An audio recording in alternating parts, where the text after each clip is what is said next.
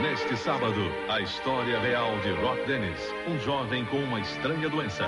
A cirurgia plástica não é uma opção até que o crânio pare de crescer e não se sabe se ele vai parar. Lutando contra o preconceito da sociedade. Eu tiro a minha máscara se você também tirar a sua, seu filho da mãe.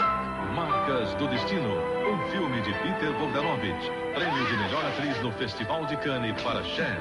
Neste sábado, em Supercine. Oferecimento Toshiba Quatro Cabeças, a evolução do seu videocassete.